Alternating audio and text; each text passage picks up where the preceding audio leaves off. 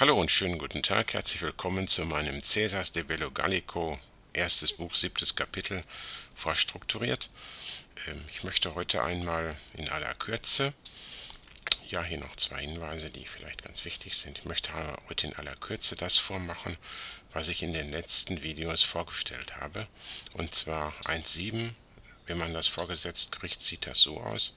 Und jetzt mache ich einmal in Schnelle vor, wie das aussieht, wenn man eine kolometrische Schreibweise gemacht hat, die Verben am Ende markiert hat, die Nebensätze eingerückt hat und die Präpositionen als Block abgerückt hat. Also, wir fangen mal an. Ich mache das Zeile für Zeile. Ihr seht hier Cesari cum it nuntiantum. Nuntiatum heißt das Gerät.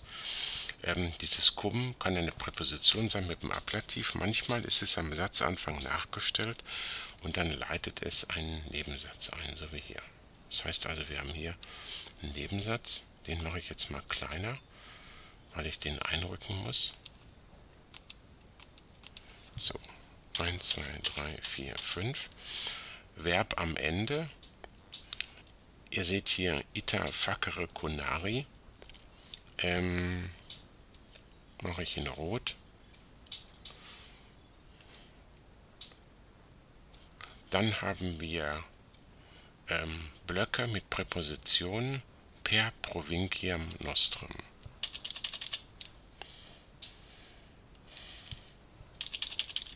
So, das war der erste Satz. Zweite Zeile. Das ist jetzt etwas länger. Das macht überhaupt nichts. Das kann ich ja hier am ähm, Computer relativ schön bearbeiten. Immer noch nicht. Ja, jetzt mache ich da mal, ich rücke das mal eben ein. Und dann haben wir hier ab Urbe eingerückt. Nebensatz ist es nicht. Und dann gucken wir hinten, ob ähm, da ein Verb steht. Und ihr seht, hinten haben wir per Und bei längeren Sätzen, das nehmen wir jetzt einmal gleich mit, hatte ich ja gesagt, wenn das durch et, das kann manchmal durch et zerlegt werden, aber dann braucht man rechts und links, je nachdem wo das et steht, braucht man nochmal ein Verb. Rechts haben wir davon eins schon und ihr seht, links äh, steht auch ein Verb, contendit. Und dann können wir das auch einrücken. Und dieses et haben wir einmal das et contentit, et ad genevam, genavam, bitte um Entschuldigung. Und dann haben wir hier sofort noch einen Block. Ad genavam, ja, den, ich, eigentlich hatte ich ja gemacht, einen Eigennamen müsste ich auch noch, ja. Dann haben wir hier noch in Galliam ulteriorem. Ihr seht, ähm, so. Das ist schon das nächste. Dann machen wir das nächste. Provincie toti. Ihr seht, hier fängt kein Nebensatz an. Also gucken wir. Ähm, hier ist eine Parenthese.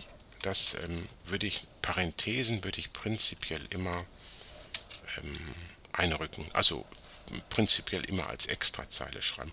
Hier haben wir erstmal gar nichts. Äh, Präpositionen sehe ich nicht und nur am Ende des ähm, wie heißt das, am Ende der Zeile, so ein Imperat, also so ein Verb.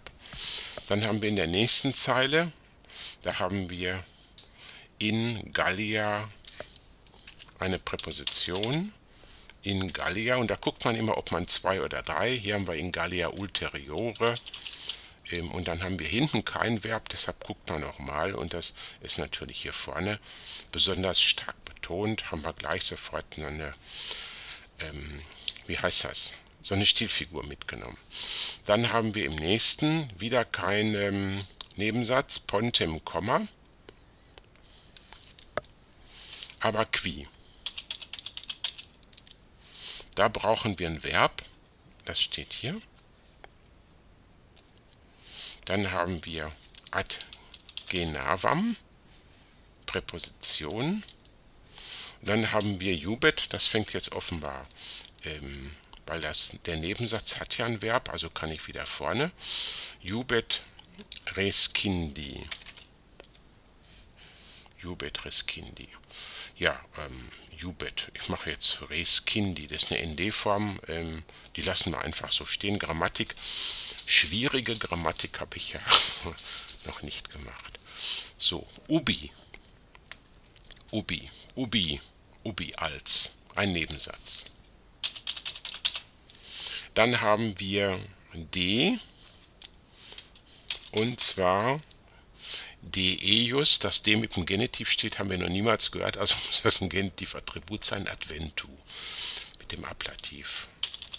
Dann haben wir Helvetii und dann Certioris Factisunt. Jetzt kann man natürlich auch Certioris Factisunt nehmen, lasse ich nicht. Wir gucken, ist das ein Nebensatz? Legatus ad eum? Nein, Legatus, aber wir haben eine Präposition.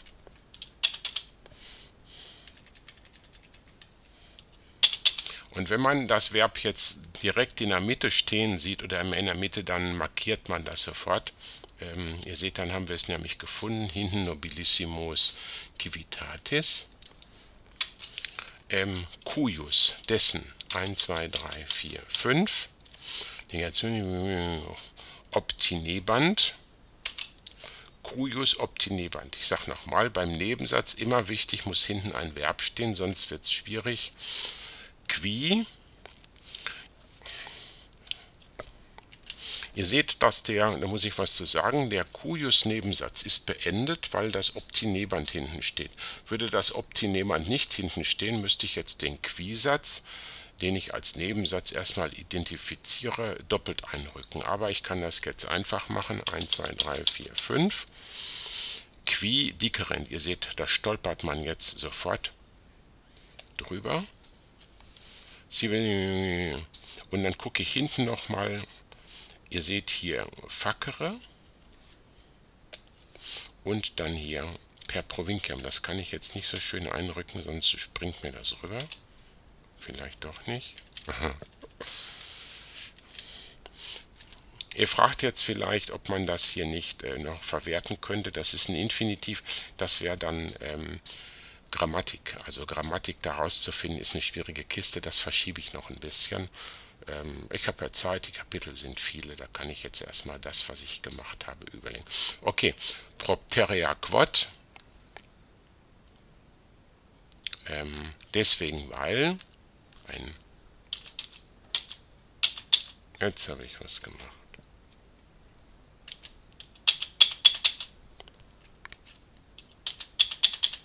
Jetzt geht das nicht mehr.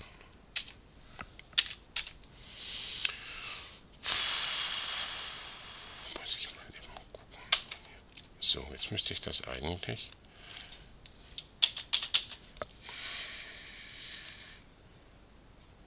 Bitte um Entschuldigung.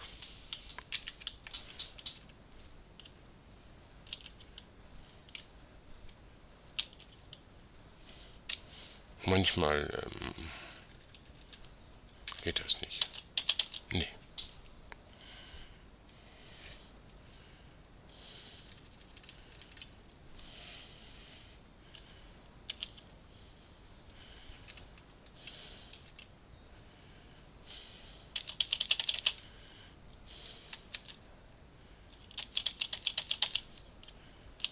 Es tut mir leid, dass das jetzt so ein bisschen...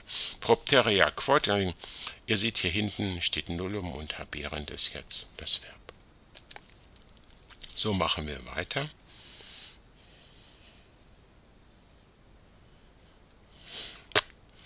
Jetzt habe ich irgendwie den Text durcheinander gebracht. Ich muss mal eben gucken. Ich bin bei dem Propteria Quod.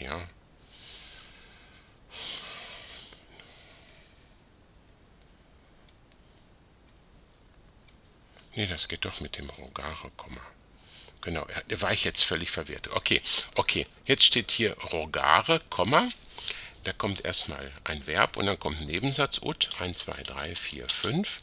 Und wir nehmen mal das Verb, das hier ganz alleine steht, eine relativ ähm, schrille Kiste. Ut eius voluntate civi facere liceat. Ja, ob ihr jetzt diese zwei hier ich nehme mal einfach diese beiden mit. Wir wollten ja werben am Satzende. Was man hat, das hat man. Dann haben wir Cäsar. Das ist erkennbar kein Nebensatz.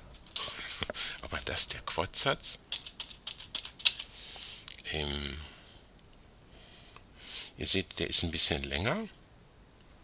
Deshalb mache ich den jetzt ein bisschen kleiner. Noch ein bisschen kleiner. Genau.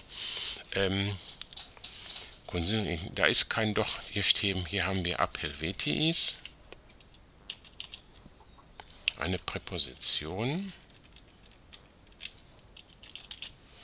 Und hinten haben wir ähm, Pulsum et subjugum missum. Das ist ähm, eine schwierige Kiste. Ein Pulsum, also das Pulsum erzählen, es markieren wir als Verb. Subjugum missum ähm, markieren wir als Verb. Dann haben wir in dem Kurzsatz ein Verb. Und dann hier haben wir vorne wieder, geht es wieder weiter mit dem Concedendum non Mut Putabat.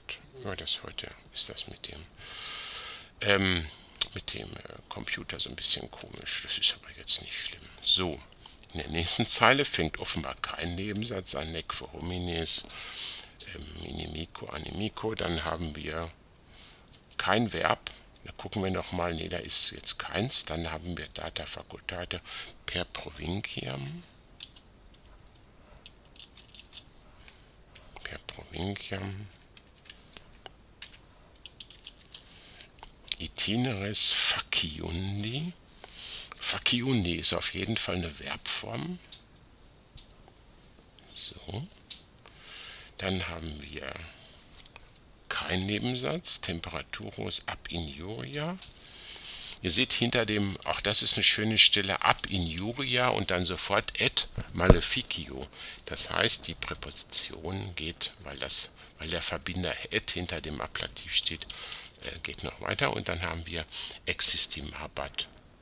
Wieder das Verb.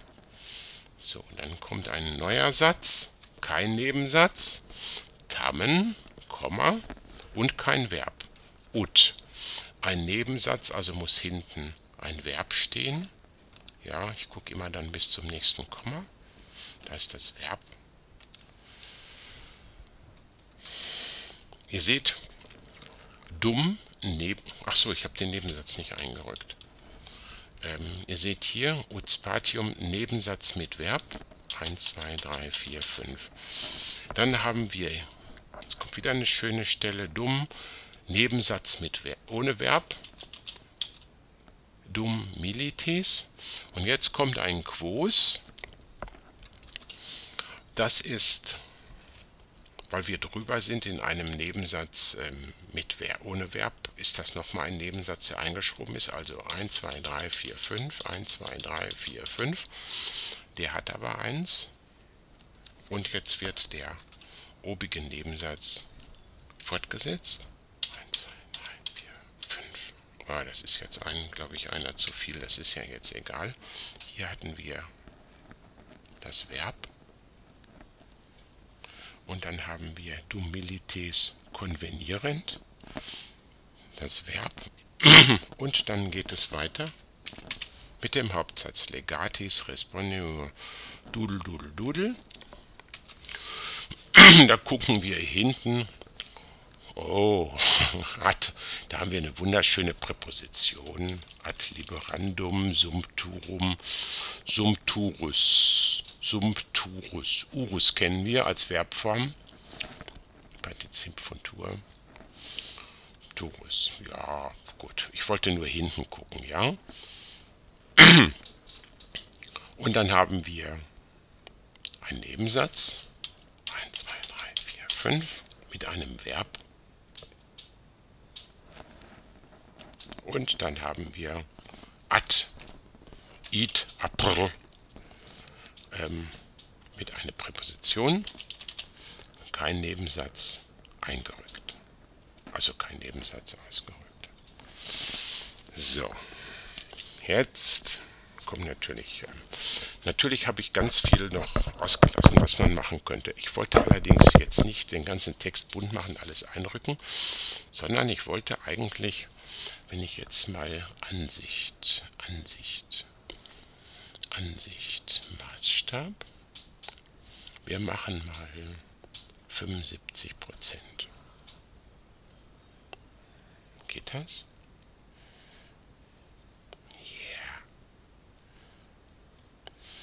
Das wollte ich eigentlich euch zeigen. Ihr seht, ähm, was wir aus dem, was wir aus diesem, aus diesem abschreckenden Block hier oben gemacht haben. Vielleicht noch ein bisschen kleiner. 50 Prozent. Ja. Sieht man das noch eindrucksvoller? Ja, so sieht das am Anfang aus. Es geht nur um die Optik. Ähm, und wenn ihr jetzt euch das anguckt, dann ähm, denke ich mir, stecken in dem Text jetzt natürlich all die Informationen drin, die wir da reingesteckt haben, nämlich eine kolometrische Schreibweise, die Verben am Ende markiert, Nebensätze eingerückt und die Präpositionen als Block markiert. Ähm, niemand wird bestreiten, dass wenn man, natürlich muss man das immer noch übersetzen, aber man kann sich schön von Zeile zu Zeile hangeln. Und man sieht durch die Einrückung zum Beispiel hier querert, wenn man sagt, ich mache zuerst die Hauptsätze und arbeite mich innerhalb der Hauptsätze von Verb zu Verb, das sind Übersetzungstechniken, da komme ich vielleicht auch nochmal zu, da sagt er noch ein paar Sätze zu, ähm, dann hat man natürlich sehr viel bessere Karten, als wenn man auch das würde früher unterrichtet bei solch einem Satz am Anfang, die sogenannte Steinbruchmethode mit dem ersten Wort anfängt, dem Cäsar. Und dann cum als dieses berichtet war, diese durch die, uns, durch die Provinz unsrige den Weg zu machen, zu versuchen und grauenvoll. ist tatsächlich mal so unterrichtet worden. Hat natürlich mit dem wissenschaftlichen Übersetzen überhaupt nichts mehr zu tun. Hatte schon damals nichts mit Wissenschaftlichkeit zu tun, sondern mit Kinderquälerei. Okay, ja, ich hoffe, ich konnte euch das so ein bisschen näher bringen. Ich mache das in dem nächsten oder übernächsten Kapitel nochmal. Ich denke mir, da kann man gar nicht genügend Beispiele sich von reinziehen.